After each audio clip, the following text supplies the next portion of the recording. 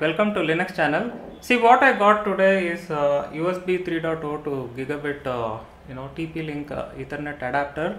So this one, uh, the model is uh, uh, UE300 and uh, inside the bracket, uh, bracket they mentioned as UN um, and uh, this is uh, version 3.0 so that's what it is uh, so what we do is today we uh, track its uh, or we find out its uh, controller uh, uh, chip number and then uh, uh, we go through its uh, drivers uh, uh, from the linux kernel source and uh, we see what insights we can find and uh, this method uh, you can try on any uh, ethernet adapter any nic card adapter. It can be even uh, uh, inbuilt motherboard ethernet adapter or it can be even uh, PCI Ethernet adapter. So let's just quickly unpack. So this I got it for some uh, R&D. Uh, especially I need a standard uh, popular one available in the market so that I can uh, easily get the driver support, especially for uh, the OpenWRT and stuff like that. So as you see here, this is what uh, I got it and you can unclip this so it's a fairly compact one as you see here. And again there are some specifications mentioned over here. So you can see there.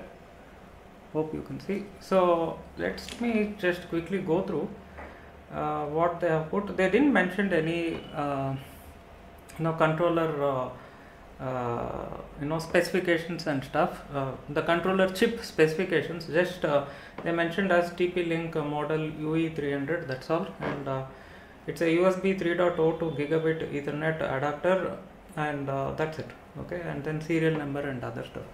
So what I'm going to do is I'm going to hook a Ethernet uh, cable and I'm going to connect it to the system. And uh, before that what you can try is uh, you can always do a uh, capture of uh, log messages okay?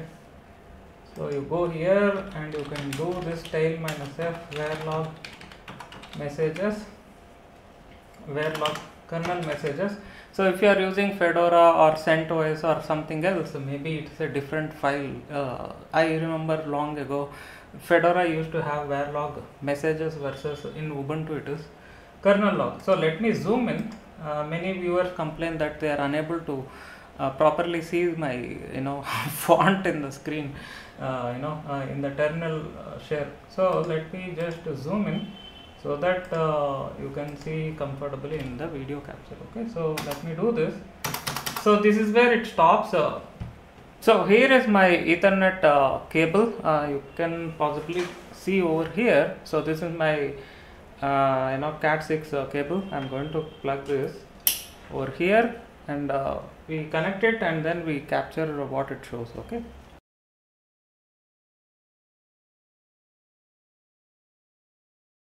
So as soon as I plugged in, you can see it has uh, uh, shown this uh, screen dumps, uh, which is captured in var log uh, messages, kernel log messages, and you can see there uh, what is the device and what is the current you know port name, and we can open another terminal and we can do if config, and you can see this is showing currently as you know uh, ENX 64AB something like that actually. So this is the you know currently plugged NIC card and this is what is you know existing one which is nothing but the motherboard Ethernet uh, port. Uh, there is another one. Uh, this one is in. Uh, uh, uh, this one is uh, TP-Link uh, PCIe add-on card. Um, this I use generally to do some uh, you know console access and stuff like that uh, onto my SD-WAN uh, router uh, edge devices. Okay, so we ignore this, and this is the new device, and you can see there this uh, MAC address, whatever it is there, it is added onto this ENX, you know, uh, prefix of that Ethernet port name.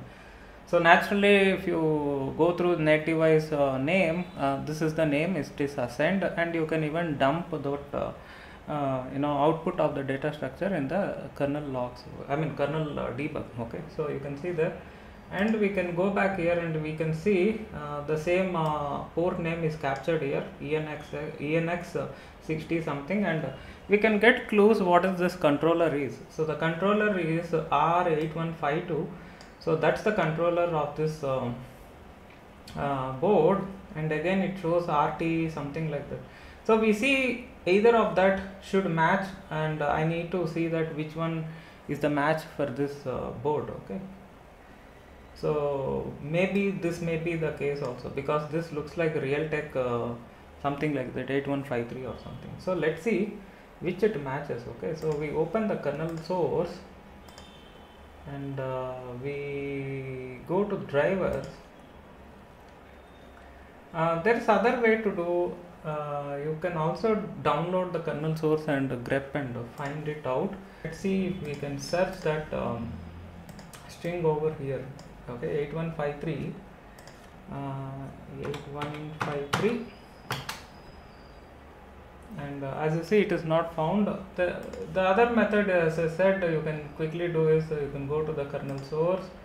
And uh, i'm sorry you can go to the kernel and you can download the whole kernel source and you can grep as well so we can try this method. Uh, we get this tarball which is a mainline uh, uh, you know uh, uh, 6 uh, 6.0 or else we can pick that uh, you know recent uh, 5198 okay so we download this kernel source.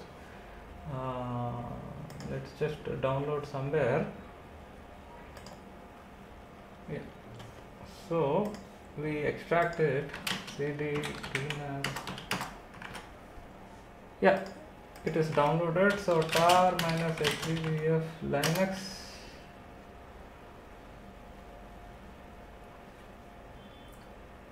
So this is generally the way i do. I download the kernel source and i go through the folders. I mean i traverse through the folders and find it out which it may fit.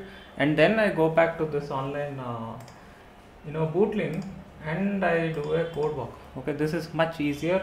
Okay so cd linux we go to that uh, source code. So it should be in drivers and it should be in uh, net obviously.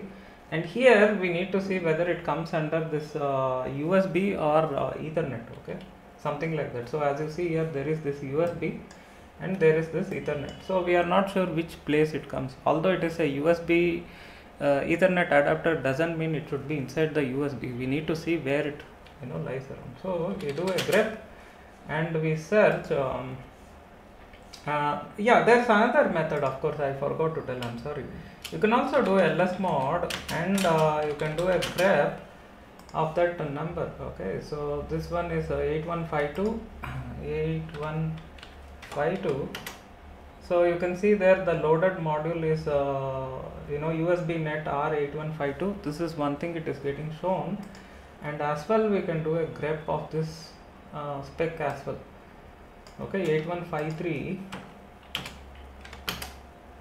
so nothing like that shows up. Rtl 8153 nothing like that. 8153a uh, rt yeah so it doesn't match. So which means it is uh, this chip 8152 and uh, you can also grep and find out its uh, data sheet and stuff okay? So you can see there. As soon as I enter it shows as a driver in the suggested uh, you know Google search. Uh, and uh, we go to this images and we see and you can see there are many other brands making their own versions of USB to Ethernet adapter USB 3 to gigabit Ethernet adapter stuff like that. So uh, uh, I can't do tear down or something. I'm seeing what is the chip it contains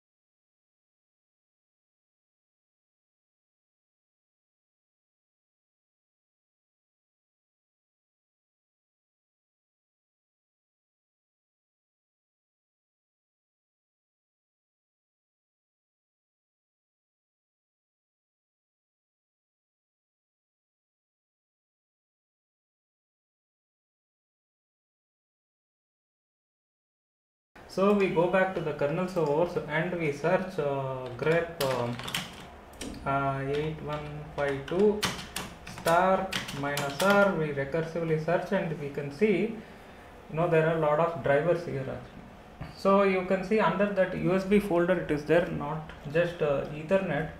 So looks like this is specifically meant for usb to ethernet adapters okay? So that's what it is so usb r uh, 8152 so we go back to the kernel source and uh, we can see and we can do a code walk. Let me increase this font size as well so that you can see comfortably. So this is what uh, if you are uh, beginning uh, to learn um, you know drivers so this is again uh, i'm iterating. This is always a misconception. Everybody asks i want to become a driver developer and you know things like that. But i'm very new to linux very new to kernel and stuff. I always say that first you need to work on kernel space development.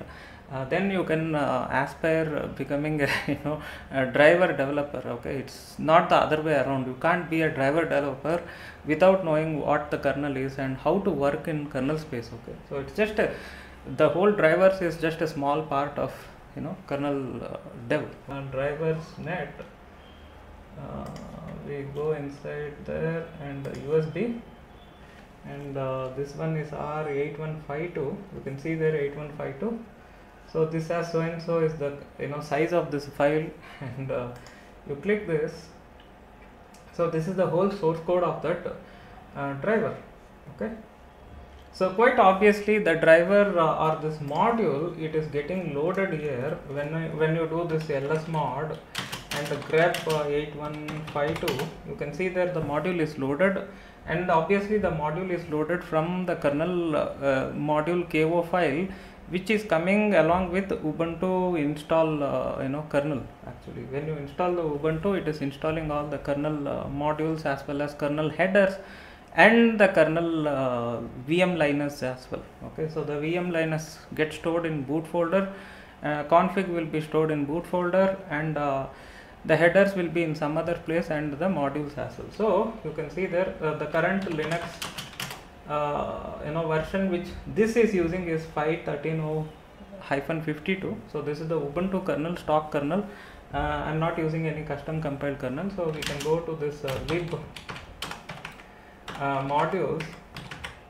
Somewhere and you can see there uh, there are various uh, old kernel uh, you know folders are there. So we go to this 52 hyphen generic and if you go there and if you go to this kernel cd drivers net you should able to find that ko file. Okay so you should able to find uh, that ko file. You can see cd usb and you can see uh, 8152.ko so this is the ko file which is the kernel module which is loaded on demand as soon as you insert this hardware. So one important thing is uh, these uh, general purpose uh, linux systems versus uh, if you consider a very hardcore uh, embedded board uh, excluding raspberry pi because raspberry pi is a semi general purpose uh, because you can insert any random usb uh, adapters like this and it may most of the times get recognized okay? So let's exclude raspberry pi. Otherwise if you consider any hardcore uh, you know embedded board chances are that uh, kernel compile what you get is very limited and it may not contain all uh, drivers pre-compiled. If that is the case you may not have all these things pre-compiled. In this case since it is a general uh, purpose uh, desktop or server uh, install ubuntu you know desktop release this is what i'm using is ubuntu desktop uh, you know which is actually Ubuntu which is an XFCE uh, you know pack, uh, window manager uh, you know packaged with Ubuntu okay? So in this case since it is meant for generic use meant to install on any laptops any uh, PCs or any servers it can be also used as a server although it is not optimal like Ubuntu server so there is nothing stopping it.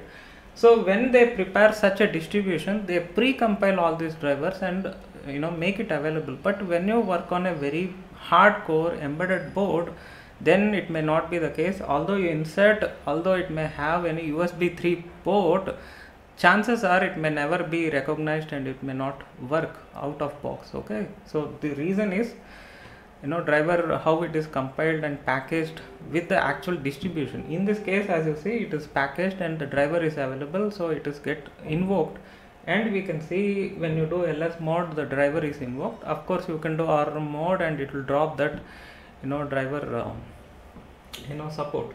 Okay so that's what it is. And uh, what we do is uh, we can uh, go through the source code. As you see here we can able to locate. So this you should do similarly. Let it be any graphics card or anything else you are uh, you know investigating. Do this first once you are done with learning some basics of drivers and uh, done some you know basic uh, uh, driver programming with any virtual drivers and stuff or any you know serial uh, driver or stuff like that in uh, you know linux uh, kernel programming. Again i'm considering driver programming is just a part of kernel programming not the other way around okay? So hence i'm saying as a part of kernel programming as you do any uh, you know uh, work or study in device driver development once you are done away with you know random examples you find in internet come with real use case real you know hardware and then done do some uh, code walk do some r&d and you have the source code. In fact you can uh, you know edit the source code put any prints you want do any changes and then compile this code and then uh, try to you know insert the module or otherwise you can compile a custom kernel with this you know driver file edited. I have done usually this intel drivers so, little bit i have an idea like uh, 100 mbps uh, NIC card what it is versus 1 gig uh, PCIe Express what it is and as well 40 gig uh, Intel NIC card little bit I have done code walk on multiple occasions okay but not uh, any of these are you know Realtek ones. But nevertheless let's just go from bottom to top. This is how you should start. Bottom most you can see there is this license information. And little above you can see that they have you know done this uh, file operations like stuff. And you can see there all these things they have registered. As you go up uh, you will find this module init part. And we can see that how they start the whole stuff.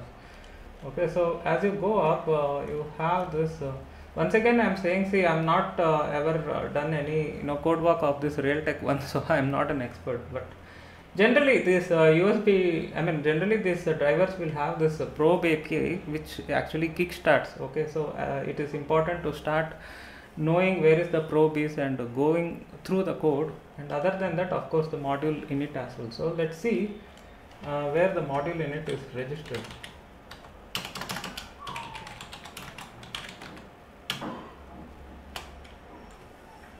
firewall init yeah, module USB driver something like that and this is where it starts. Uh, table restart and uh, yeah this is for the disconnect and uh, when it comes to this uh, probe yeah I think this is where it kickstarts and uh, you can see there it starts and somewhere it is registering this net device after it is you know somewhat like populated. As you see your net device and it is doing all this stuff. And version and a vendor uh, this thing and USB Ethernet alloc Ethernet device and stuff like that. And it is initializing this uh, net device data structure. Okay so there is another uh, data structure context. As you see here uh, R8152 and it is this pointer TP and this is like a super data structure which is again holding all the context of this net device and stuff. You can see there the net device is getting stored in this uh, you know other data structure. So it is going to have the reference. So this is again for beginners. As you know you get any packets from this uh, NIC card each of the packet the SKB as it generates the data structure it's going to you know point this pointer of that net device so it is quite easy whenever you take any random SKB uh, from any of these ethernet ports I mean any of this network ports if you do if to any of these network ports the SKBs uh, SKB of data, uh, SKB arrow data, I'm saying the data structure will have that pointer linked to this, you know, net device uh, data structure pointer. So this way you know that who is the you know uh, source of this uh, packet is getting generated in the RX flow. In the TX flow, always it will be the you know um, uh, destination or destined physical port which is set. So you will know that by capturing a random skb you will know that which interface it is going to go out uh, once it leaves that uh, you know system. So this happens in the tx path. In the rx path you will find what is the origin port of that packet is. So that's what it is so hence you can see this context they are using. Let's see what this uh, data structure is. R8152 struct. Okay so let's see where it is defined. Uh, it's only showing this references uh, 8152c so this is the data structure. You can see there it has all this uh, definition and uh, net API and uh, these are various FOPs init is there enable disable up down and stuff like that. So this is where if you want uh, your custom uh, see RTL ops we we investigate this data structure as it gets populated okay? So click this and uh, you know investigate where it is getting populated. So RTL ops let's just do a regular search. And go down where it is actually getting populated okay? So yes. Yeah rtl ops init in this ops init uh, they are doing this uh, let's let's just uh, further continue. See yeah as you see here this is the table uh, i mean this is the callback. It is registered. So whenever it is init it is this. Whenever enable it is this for that version okay? Version 7 you see various uh, variants are there rtl version 7 if it is 1 2 and 7